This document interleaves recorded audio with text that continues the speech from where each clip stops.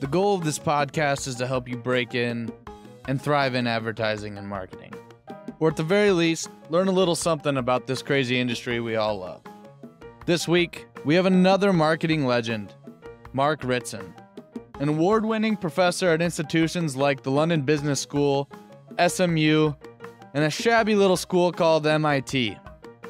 He paired that time in academia with a career as a global brand consultant working on brands like Johnson & Johnson, Dom Perignon, Hennessy, Louis Vuitton, just to name a few. And because all of that wasn't enough, and I didn't even touch on his time as a columnist, he now runs the mini MBA programs at Marketing Week. In this episode, we spent an hour attempting to tame some of the craziness within the marketing zoo, discuss the shortcomings of American marketing, and break down some of the theories and concepts you often hear flung across LinkedIn. His message is clear let's get back to the basics. And his mini MBA in marketing is a great place to start for anyone, those who are unsure of the basics or those who just need a quick refresher. I've taken it and it was a blast, and it was a great way to round out some of my fundamental skills.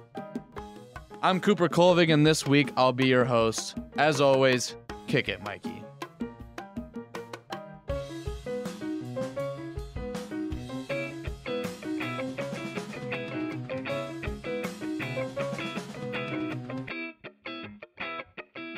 Mark, welcome to the show. It's a pleasure to have you on. Good to be here, Cooper. Greetings from Australia, where I should point out it is uh, Wednesday. So, yeah, whole day ahead from Chicago.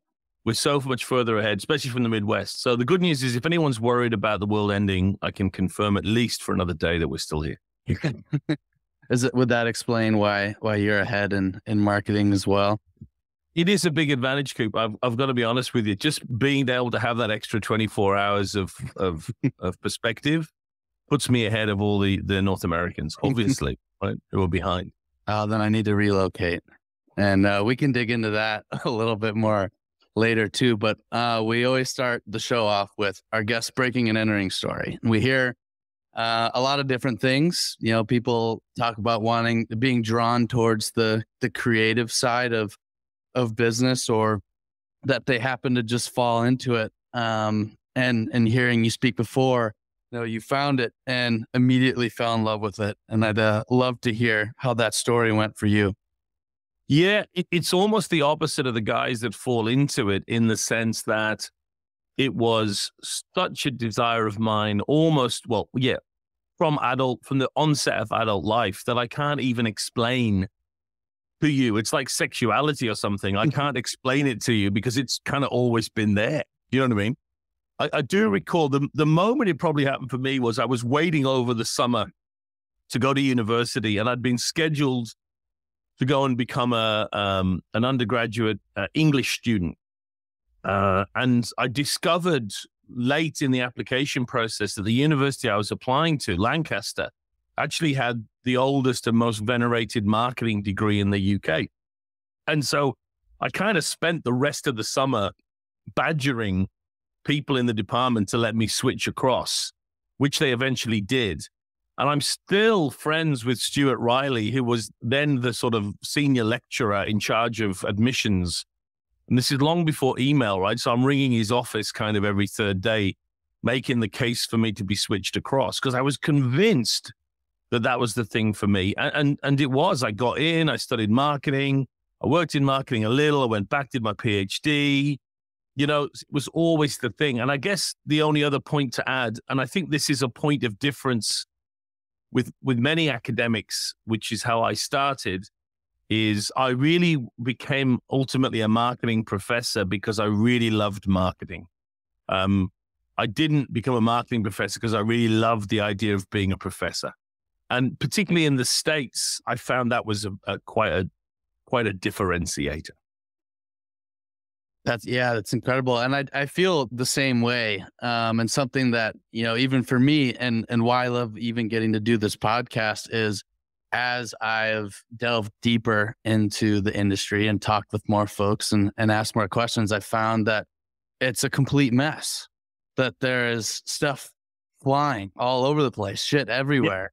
Um, So it's fun trying to to unravel that and excited to do that with you today.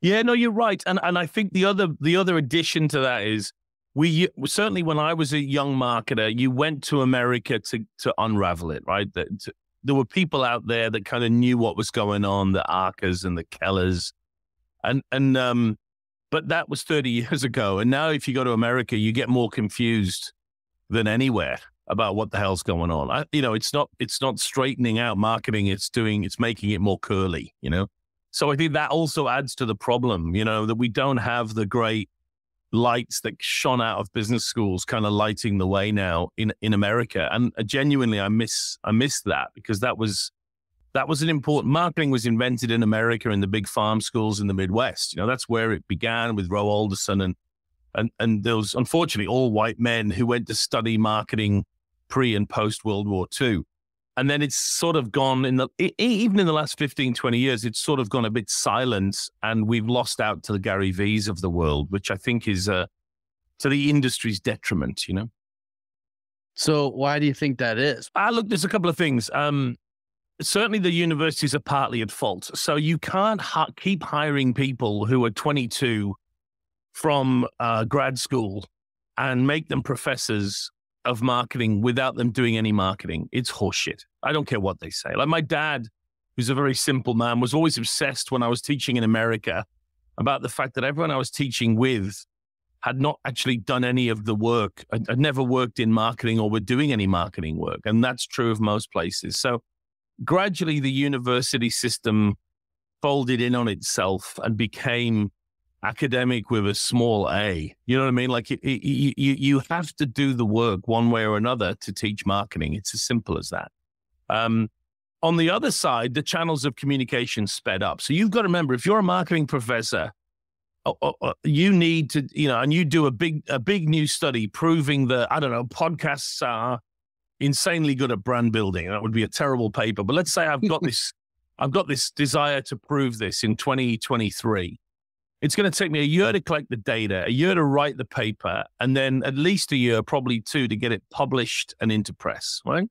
So there's a three to four year lead time from idea to sharing it.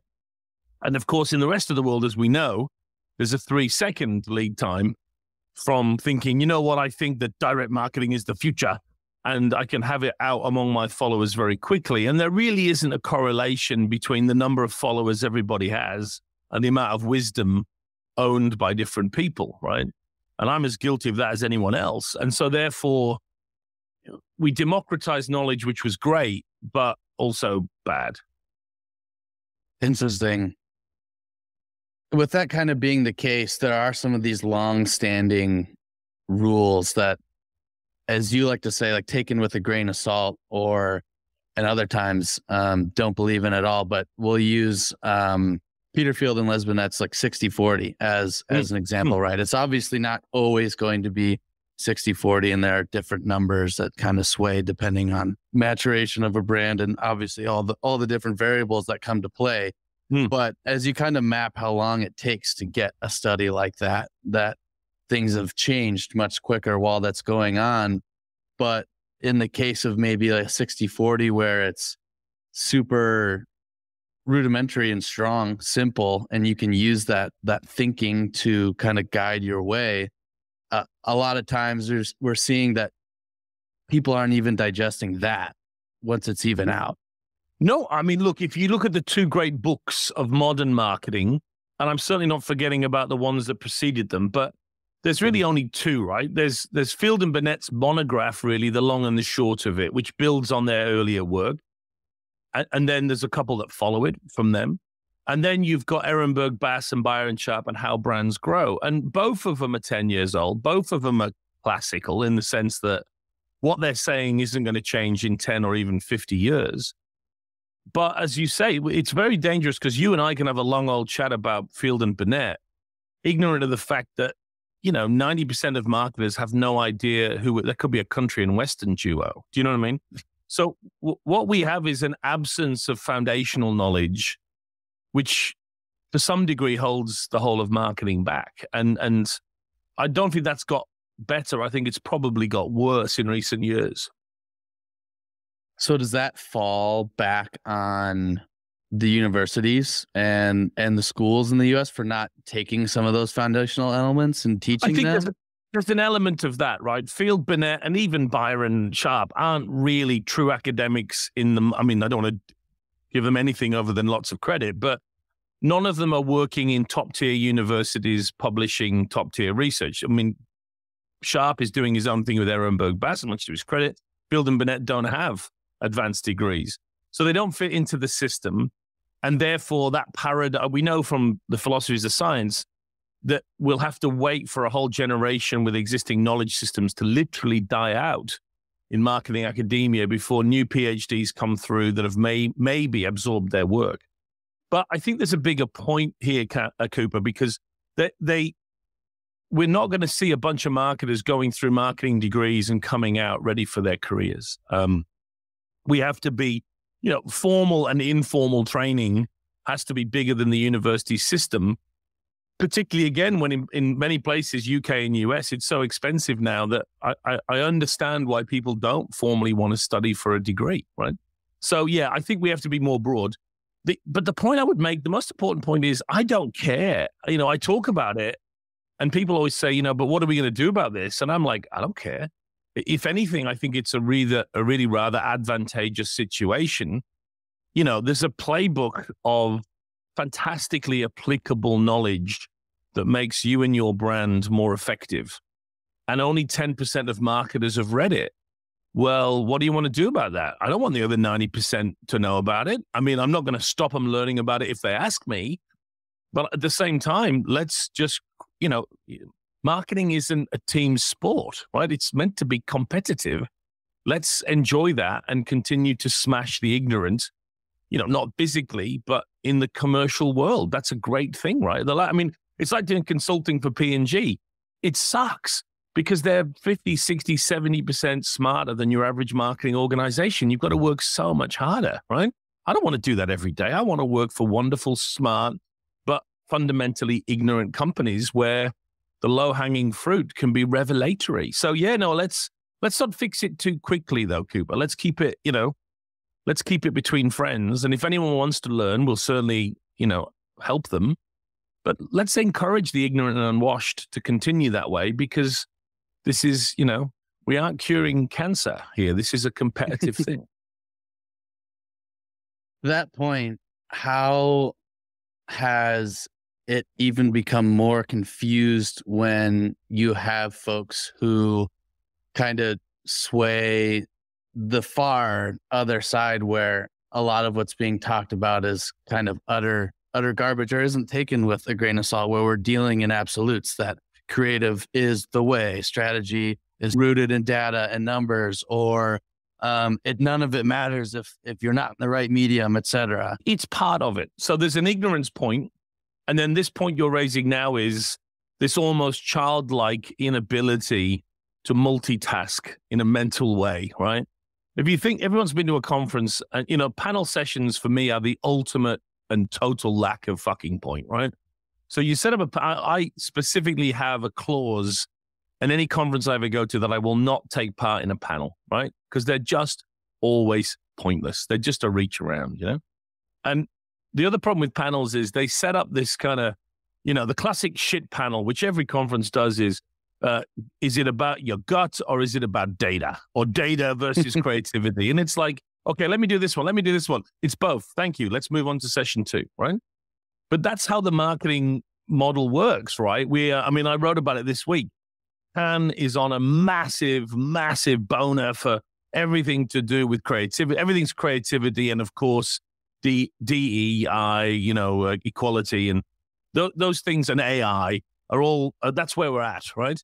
And they're all wonderfully important things, but not at the expense of all the other things we're not talking about. And, you know, 10 years ago, we were obsessed with media and we forgot about creativity and what we put in the media pipe was as important as the pipe.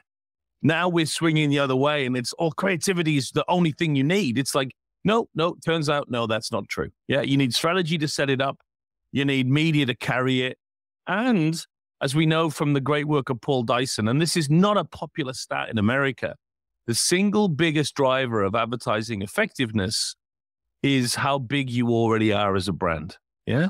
Campbell's Soup can do the world's worst advertising and not spend any more than the, you know, tiny soup company, but their very size, mental share of, of mind and physical share of shelf mean that they'll always get a shit ton more value from their advertising because they're pre-existingly big. Yeah. All those factors need to be added into the mix. Where you have it broken down into uh, quarters too, where you have your your strategy, creative media, and, and then obviously the brand size is playing a role in yeah, it. I mean, I did. That's what I did in my column. That's right. It was. I was slightly taking the piss, right? Because I'm just making up the numbers. They're all 25 percent. And it was great because I, I, yeah, I weighted them all equally because I'm like, fuck it, who cares? It's all bullshit anyway, right? And then someone emailed me and went, oh, I think brand should be higher. And I'm like, I disagree. And I have more made up data that I can use against you in this argument. Do you know what I mean? But yeah, in, in a general sense, I mean, I think that's one of the beauties of the 60 40 rule is it is very basic and it does, you know, it's a mental model. So I think remembering that there's lots of factors they don't have to be perfect, and they're crucially they're multiplicative. You you can't have the world's greatest creative tactics making up for a shit strategy because two times two will always be more than zero times three. You know what I mean? Absolutely. Um, so, to what extent do you believe that the kind of fractional system the marketing world has become has kind of left us speaking different languages. If I'm if I'm uh, a marketing major or, or brand management major or uh, aspiring strategist, and and I'm looking at the world and I'm seeing that you have creative agencies and you have in house, and then you have these guys who are in the middle about media and they're all saying similar things with the same words and arguing about whether a brand is this or that. Where do you start? I mean, you start with the work, right? So I think a, a, big problem with the the zoo of marketing is we're all talking about the philosophy of it all, and really it comes down to the work and how it's done, right?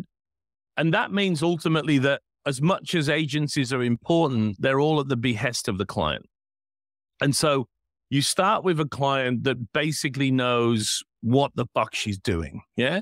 If we've got that, we have a chance of everything else working. Because no matter how good the agency is, if the client is wrapped up in politically correct, obtuse, incorrect marketing thinking, it doesn't matter what they do, it's all going to go horribly wrong, right? So what we want is not no genius, but a decent marketer with a bit of experience, steeped in the fundamentals of marketing, that knows how to build a marketing plan and knows how to brief it into a decent agency. And if we've got that, eight times out of 10, we're going to be okay. So, are there any things that you're seeing as far as the the U.S. market making any sort of progress within the marketing no, and no, advertising? No, it's, it's, still getting a lot worse. So, one of the big problems for, and, and, again, let me preface this by saying I love America and I love Americans. I spent about ten years there. I, if you, if it wasn't for an Australian wife, I'd still be living in the states. I love the place. Right? It's great. So I'm not your usual wanker European Australian who hates the States, but I love America. I love everything about it, right? But with that caveat, um, there's a lot of problems. Now, one of them is the ignorance thing we talked about earlier, but another big one is we're moving towards, at least for brand building, I think a general recognition now that Ehrenberg Bass are correct and that you, if you can with your budget, you want to build your brand to everyone in the category, every potential buyer. That segmenting and targeting, like we all did in the 90s and noughties, at least when it comes to the initial top of funnel brand building, doesn't make sense. If you've got the budget, you want to target everyone. And I, I, I think very few things are inarguable in marketing, but that point is. That takes us to a problem in America because, as we have many case studies to demonstrate, targeting the mass when the mass is opposed to itself is in itself a very difficult thing. I mean, the obvious examples, Bud Light, there are obviously others too. But how do you go out to all beer drinkers with a message when within that group, there are literally factions that think the other faction is trying to kill them, yeah, or ruin their way of life? You know what I mean? We don't have that problem in other cultures. We certainly have some polarization, but the the hyperpolarization of American culture is horrible for a number of reasons. But from a marketing point of view, it really makes mass marketing very difficult right now. And uh, I'm not sure how we get around that. It appears it, it's certainly accelerating, right? Which even to what you talk a lot about in the the mini MBA, that switching, you know, all cylinders towards um, highly focused um, segments and sub segments can't necessarily be the answer either. You want a bit of both, but if you're going to have a cohesive and, and integrated message across your different tactics, it has to make it far more complex to take any sort of side, which I could only imagine begins to suck a level of creative oxygen out of the room once you've gotten to the execution phase of it. Yeah. Yeah. I mean, there's there's that. I mean, let's be honest. I mean, I don't care, right? Let, us insult people, not intendedly, but let's tell the truth. The marketing operations of most brands swing heavily left, right? I have no political bias of any. Kind. I don't give a shit. Right? I've never voted in my life. Don't care. Um, but if you look at most, not all, but most marketing operations, they swing significantly further left than the marketplace that they're serving or elements of that marketplace, right? And, and therefore, what we get is this attempt to educate, convert, evolve, advance society through marketing, which is inappropriate, in my opinion. Not because we shouldn't evolve society, but, but because we have to do it with deference to those that pay for the brand. And if you look at the Bud Light crisis and what it comes down to, and, and the well meaning but unfortunate brand manager responsible, she, she literally didn't have any time for existing customers of that brand. She was all about the customers it did. That's that was the Achilles heel in what was otherwise a well-intended strategy. Was don't forget about the people you've already got. They're not the enemy. They're the ones paying for everything. So once we politicize it like that, that's where the anger comes from. That's where the boycotts come from. And and you're right. That's where the creativity now. If you look at the response, I'm not sure this was a pastiche or not, but apparently, Bud Light were then offering, there was a competition to win a semi automatic rifle a couple of weeks later. Now, I don't know anymore what's real and what's not real, but it's, it's, highly possible that is real. And you get this bifurcation going on. You know, let's have a transsexual spokesperson. Let's have a raffle for a, for a machine gun. And that's the attempt to balance something that cannot be balanced, you know? So I think that's an, an intractable problem for big American brands right now. And the smart ones are staying out of it and are focusing on high level emotional benefits of the brand, but not overstepping the mark and getting involved in the culture wars because ultimately you, you will, either way, you will lose. Yeah, that's that's incredibly interesting. Um and kind of a wild way to break down exactly what it feels is is happening where even when when i was in school i feel like culture culture cultural insights that's that's all that was was discussed before even a lot of the um like self-taught um work that i've done around uh, byron sharp and, and his books and and even getting into mark pollard and, and now even taking the the mini mba that uh, this kind of rolls back to your earlier point that we're now so far away from the basics and the fundamentals. Yeah, the fa- the foundations could save us though, Cooper, in the sense that uh, as we've covered in mini MBA, there's a difference between talking about product features and getting to emotional brand benefits and then climbing out into the sky and trying to fix society. Yeah. And what often happens in this debate is if the Ehrenberg Bass stuff, the Byron Sharp stuff, in my opinion, is still too shallow and still too product based and too superficial and too much about distinctiveness only, you know, empty differentiation. And the cultural stuff that comes out of the United States is too highfalutin. It's too uh, anthropological. It's too high culture. It's it's trying to fix things, right? In the middle is the sweet spot, which is we can talk about benefits of a brand that aren't going to piss anyone off, irrespective of their orientations, that are rooted in the in why we buy and consume brands, but aren't you know aren't the basics either. I mean, in the UK, for example, the IPA winner last year, sort of the, the Effie winner last year, was Cadbury's chocolate, who have a brand purpose of generosity which is built around the idea that there's more milk in Cadbury than there is in the competitors, which there is. And it does make for a more generous, uh, more uh, milky, more enjoyable chocolate. But also, therefore, one step up from that, there's a feeling when you give Cadbury or you consume Cadbury, you're being generous to yourself or to someone else. And that's the platform they built.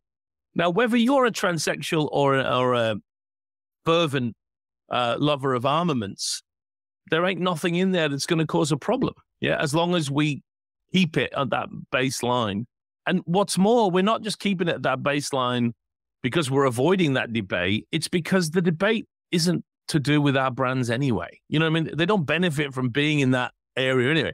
Now, there are a couple of brands where you're drawn into that, and then you have to walk that tightrope. I get that. But most brands have no, you know, they have no need to get involved in that nonsense. What they need to do is concentrate on the, the job at hand, which is my yogurt is better than the other yogurts. And also it makes you feel X. You know what I mean? That's the job, man. Get back to the work. Yeah, you've lost lost the the the line in in the middle, and even like endangering the the a brand for the sake of of a societal change. When really, at the end of the day, what Bud Light's trying to do is is sell more beer. It's almost like oh, what had to have been seven or eight years ago when you had the the Pepsi, the Kendall Jenner Pepsi ad, where it, instead of the the flower, where you've just become, I guess, it, what seems to be so detached from what the goals and objectives really should have been at the beginning. what happens in these teams is they spend their time in Cannes-like environments, right? Uh, they hang out with each other. They don't listen to customers, particularly qualitatively. If you want to get straightened out, right? You get your ass down to a Greyhound station you know, or a 7 Eleven, and you watch people consuming your product, it takes about an hour to go, oh, hang on, nobody gives a fuck. Yeah. It's it's super obvious. What's missing there is is the market orientation of realizing, you know, Bob Hoffman has this great line about opening the refrigerator and looking at all the products inside your refrigerator and then working out how many of them you purchased because of their political stand, brand purpose, or anything else. And the answer is zero, right? The truth is in everyone's refrigerator. We are embarrassed just to make good products and sell them and employ people and give people decent yogurt. It's not enough anymore for an elite group of marketers who for some reason in the last 10 years want to want to go to a dinner party in Manhattan or southwest London and say they do more than just sell beer, coffee, yogurt and I don't suffer from that uh, problem. I, I, I I take great pride in working for great brands who make amazing products, employ lots of very happy people, and make products that delight everyone. I think that's a lovely thing to be involved in. And by the way, there's no reason any of that needs to be at the cost of the planet, needs to be at the cost of, of animals, needs to be at the cost of, of equality it, it, a good business will will will do those things by, by its own right and not necessarily crow about it either because it's not relevant when you're making yogurt just look after your cows. You'll get better you'll get better yogurt as a result. Don't go on about it to consumers unless they want you to go on about it right? So i think that's for me that's been the big problem. And the other thing i've banged on about for about 10 years and no one's ever understood is that the purpose of purpose is purpose right so, okay, if if a Bud Light, an AB InBev, your purpose really is to establish a more advanced, progressive society, good for you. Don't expect to sell more fucking beer because of it. Expect to sell a bit less, but that's okay because your purpose is the reason you're doing it. What I object to strongly are companies who have made this childish uh, gambit, which is if we have a brand purpose, we will sell more products to more people at a higher price. That's that may happen, but it's highly likely that it won't happen, and that's okay because if the reason you're doing this is because of an inherent purpose, that's justification enough. And there are good examples. I mean, we always talk about Patagonia. Um, they make a shitty um, surf suit, right? They say it's shitty because it's made from materials that the better swimsuits make from non-ecological material, right? That's that's a purpose. You know, they tell people on Black Friday not to buy their clothes. Yeah. That's going to cost them money. Do you know what I mean? There was a, a really interesting uh, case with the Guardian newspaper in the UK and also in Australia. They've opted not to take any more gambling money. Uh, uh, what's interesting about that isn't the move itself, but when the CCO, or whoever it was, announced it, she was very clear that this is going to cost us millions of pounds, right? It wasn't like, and by doing this, we will grow our brand. It was like, this will, there's more gambling money out there than anything else, and we're going to say no to it. It's going to cost us a lot of money, but we choose not to take it. And even when she announced it and I posted it and said, this is proper purpose, there were loads of marketers saying, yeah, but they'll get more subscriptions and they'll get more other advertising. And I'm like, first of all, no, they won't. Look at what she just said. And second, that's not the point here. There isn't an ROI for purpose. The, point of purpose is the ROI isn't relevant anymore. Whether it goes up or down, we did it because of the purpose. And I struggle to understand why my colleagues in marketing don't get that point. You know what I mean? If you're going to call it a societal purpose, own it, accept that it may not make you money in the short or long term. And suddenly everything now makes a lot more sense. You know what I mean? But maybe Bud Light isn't screwing things up because it's made a very important statement that many people would agree with, but it's also sold less beer. But was it purpose that was driving that? Or did you intend to sell more beer? Because those two things are not the same thing. Right. Targeting a group in a specific way uh, for for the purpose can can be great in doing that, but you're going to lose out on the other side if we're on this these two polarized polarized group in that way. But to your point, if we've if we've lost sight of you know where what purpose is um, and why we're making decisions for or if we're making decisions based on monetary goals, does the, is this attributed to this idea that a lot of marketers have have lost their seat at in the boardroom or or in the C suite to to really to to speak in in the right way or did were marketers ever there and we lost it? Look, it, it's always been variable, right? It, it, I can't tell you we've always had a marketer at the boardroom level in every company, and now it's declining. It, it's there are companies like Diageo, like P and G, where the CMO uh, or CBO, whatever they're called, is one of the key four or five executives. And there's lots of other companies throughout history where they haven't even had a chief marketing role, or it's not really a C role, right? It, it's called C, but it's not really. I don't think it's got better or worse. I think what I could say is you can see the good CMOs that properly occupy a, a, an executive position because they don't focus on advertising, they focus on consumers. So, in my limited, but not so limited exposure to senior decision making, what I've seen throughout my career is no one knows anything about consumers, like fucking nothing, right? They know about sales, they know about margin, they know about product, they know about tax. Oh, yeah. But paradoxically, the one thing they don't know about is the source of everything, which is their, you know, their money and where it comes from. Follow the money, it comes from consumers. And so when you see a strong CMO that's earned her or his place, they haven't gone, oh, I'm in charge of the comms here. They've gone, I'm the touchstone for the consumer. You got a question about consumers? I'm here. Scott Galloway made a great point about it. During um, COVID, the shit CMOs all went off and made horrible ads with tinkling pianos and women looking out of windows looking concerned. And the good ones sat on the board and went, right, this is what our consumer is currently thinking. This is where they're going. You know, this is what they're doing now. This is how it's changing. But as you saw during COVID, there was, you know, I don't know what the number is, 5% of, of senior marketers were doing that. The other 95% were either doing nothing or they were making crap ads. You know what I mean? And it was it was a great pleasure. I watched P and G were just phenomenal during COVID partly because their products were useful, but also because this is their, you know, 25th major global crisis. They have literally have a playbook and they're like, okay, here we go again, guys. This is what we do. Here's our strategy.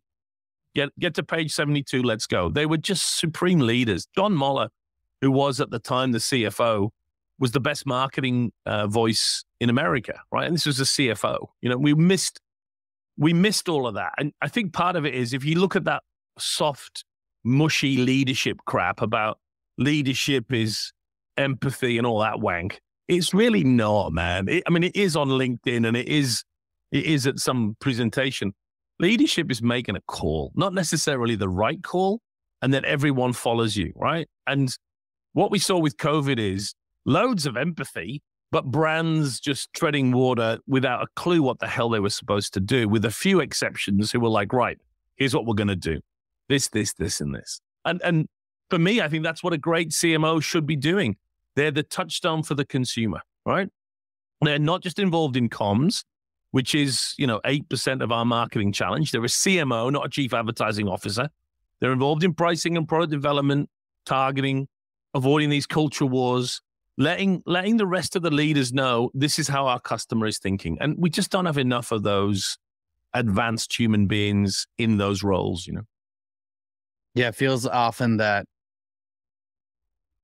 you're selling the the value of consumer research to to leaders on on the client side or or even to other agencies because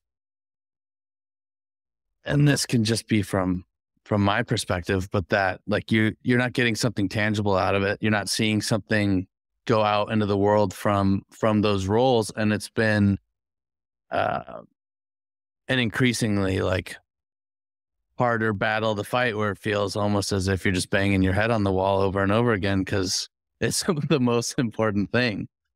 Look, it, it might be hard for marketers and agency people to understand, but in a boardroom setting of even a very large company, if you say, look, I've got some research on this topic, do you want to see what consumers think? It is met with astonishment. Like someone's just invented the idea of research. And that's because we forget other parts of the organization don't have even that, you know, that muscle memory of doing research on consumers. Yeah. The reason most companies set their price badly is because it doesn't occur to them at any point in the process to do a little bit of simple research on what the price could be from the point of view of the people paying it.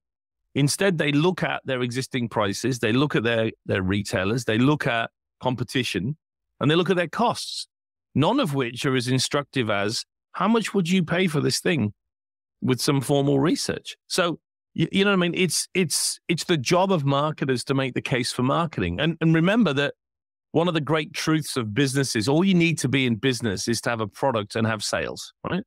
They're the two essentials. We're the third wheel. But we have to make the case for that third wheel and why it makes products better and sales bigger if we can stop and say, no, hang on a minute, that's great, but let's talk to these customers and find out what they think of the product and what other products they consider and how much they'd like to pay. So you've almost got to make the case for it, even to a smart organization, before you then can do it. And like this big debate about getting investment from the C suite for brand building, which goes on and on and on. The key message that comes out of CFOs is you can't just turn up one day with a proposal for brand investment. You've built your reputation with me over five years, and I trust you, and I talk to you, and you talk to me, and we already have a relationship in place. That that's the difference, right? We've already established that we respect each other. You can't turn up with a presentation, right? Are, are we already on those on those terms? You know, and I think that's again, that's not a common situation and to even just simplify that that's where the answers come from that you know marketing can be complex at times or it can be hard but I, i've found that that's because we don't have the right answers. We haven't talked to the right people yeah. or enough people within the category or if so we haven't asked the right questions to understand how that's to orient yourself and where to go. That's absolutely true and, and another clue is always complexity right so if you ever meet a client or a marketing director that has a very complex strategy, you know, I, and my definition of complexity is more than a page, you know, it means that it's not very good. Yeah. And, and what you learn with great, I've worked with a few great marketing directors and CMOs over the years, and they have this very simple, commonsensical plan. And if you're close to them, you'll say to them, yeah, but why don't we do X instead of Y? And just for a minute, when there's no one around, they'll open their kimono and reveal, uh, you know, 400 layers of complexity and take you through and go, that's why we're not doing that. And you go, okay, get it. So what, what the marketer's job is, is to create and craft a strategy that's simple using very advanced complex thinking. Yeah. And and again, a sure sign of a bad strategy is that it's complicated. And that that the greatest compliment in in brand strategy at least is that your team go, okay, well, we get it. It's pretty obvious. And you go, yeah, yeah, sure. It's super obvious. Go and do it. Go and do it. Yeah. Whereas like your uh, your appendix is the strongest thing that you have, but you only look at it when you're when you're being being tested. It. Well, we just talked about it in mini MBA, right? The greatest gift you've got when you do your marketing plan is a hyperlink. And I'm serious, right? Because what you've got, you know, every marketing plan that's presented is too long. So what happened? I've done literally 2,000 marketing plans. Right? I've sat through them, I've reviewed them, I've presented them. You know, I'm, I've officially done enough. So what happens with almost all of them is they go too long because they've got like you know 20 slides, right? And there's always an hour to present, 80 minutes if you're lucky. So what happens is they get halfway through with loads of questions, and we aren't anywhere near the plan. And they go, "Oh, I'm out of time, so let me just jump to the final slide here." Blah blah blah blah blah. Well, that's not the way to do it. You need less in your marketing plan because, again, you've already simplified it. But to your point, when the big airy question comes up about, but why aren't you targeting the the alphas? You click your little hyperlink button and you go, here we go, because you see that over there, they're this and they're that, and we'll never do that. And you click it and it comes back to your deck. And after having sat in that room and been through that with good marketers, where they metaphorically slap you across the face two or three times, you stop asking those questions, not because you're not, not interested in the answers, but because you know this marketer's got it, that she's on top of it. And you can basically sit back because what she's going to do is humiliate you if you ask any more questions. And the point of this brand plan is she's got it and let her go. You know what I mean? Uh, that's what you want. The simplicity, as you say, with that appendix, which is imminently hyperlinkable, demonstrating depth and complexity of thought. But man, that doesn't happen very often. That doesn't happen very often at all. Yeah, working like a lawyer, where it almost seems too good as the words come out, but then you have the briefcase ready, being unimpeachable. Um, yeah. But you don't have to show all of it. Wear it all on your sleeve there. Keep it simple and to the folks that you're talking to, whether that's your creatives internally or or selling yeah. the strategy to you, you, and you need you need that simplicity of language as well, right? We often have you know all this complexity gets thrown in it's not necessary. You know what I mean? If you really understand your your field, we could use simple language for the most part. There's a couple of words we need that are, mm. really are different. You know, you get a lot of pushback on distinctiveness and differentiation. It's like no, no, they they really do mean different things. They, you know, you have to accept that. If there was any way you could live without one of them, I'd live without them, but you can't, right? But you boil it down as much as you can to the core concepts.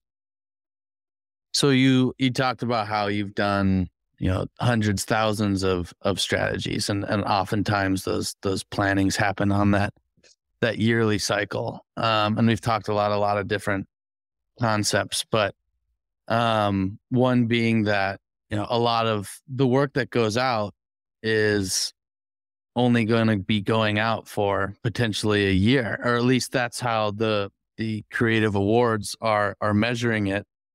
And do you think that that yearly cycle is dictated by the awards and and hurting the ability for for work to go out and have that long-term exposure of the work that's necessary or?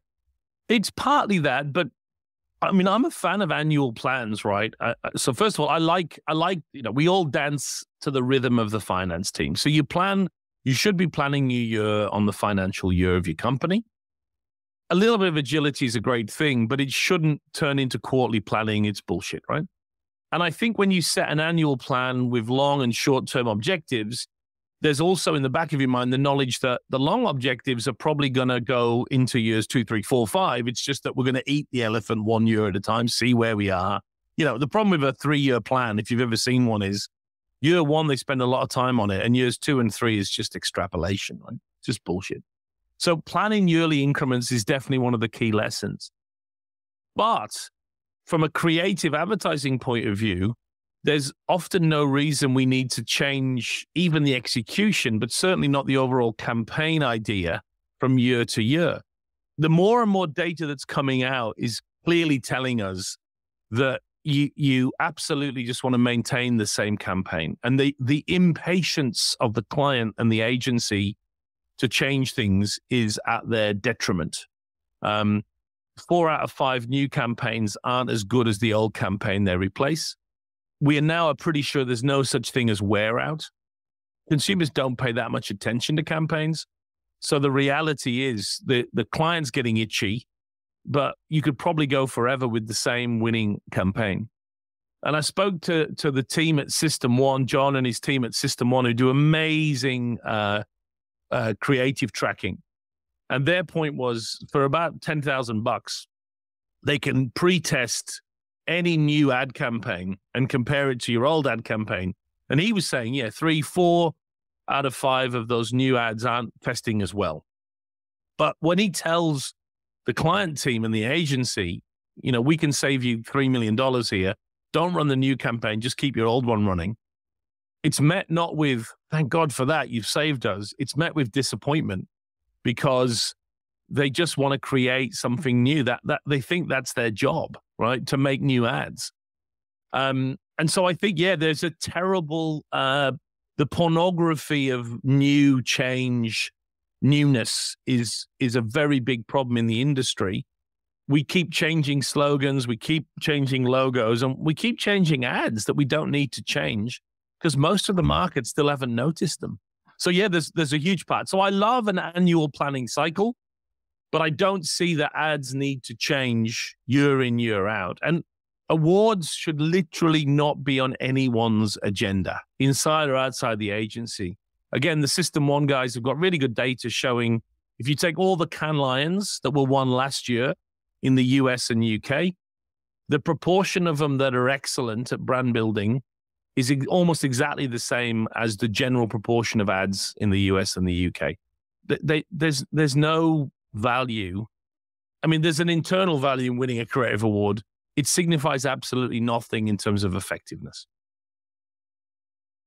Yeah, so uh, you can see how like the creative shops that's that's the end goal because that's the value that that they yeah. provide. But for for a brand manager or a strategic partner, it's the the game is is effectiveness. And I know we've gone through a lot and we've we've begun to un, unravel um, the craziness that's going on. But you're doing that yourself. You have the mini MBA in in marketing um, and brand management and and now management to where you have at least as I've gone through the the marketing portion of it, um, you know, you've packaged it up into three three core pieces: your diagnosis, your strategy, and planning as as your basics. Um, and if you can get really good in in those basics, there's there's hope for the U.S. and other markets to to to sort that out. Would Would you agree? Yeah, look, uh, I had I've had a lot of debates over the years about this. You know, again, that the, there's a lot of morons in marketing that are proud of not having a training in marketing, and I find that distasteful. I mean, literal philistines, right? And they always give you some bullshit metaphor for why not being qualified in marketing makes them sharper or better, or you know, there's some moron years ago telling me that kids who come straight out of high school into the MBA can do that if they have natural talent. And I'm like, dude, I have no idea what you're talking about.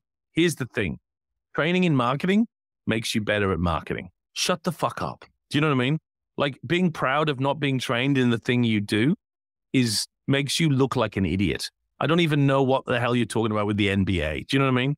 And and that's that's another battle we have to fight, which is okay, not everyone can afford four years in college, and that may not be the best way to learn marketing.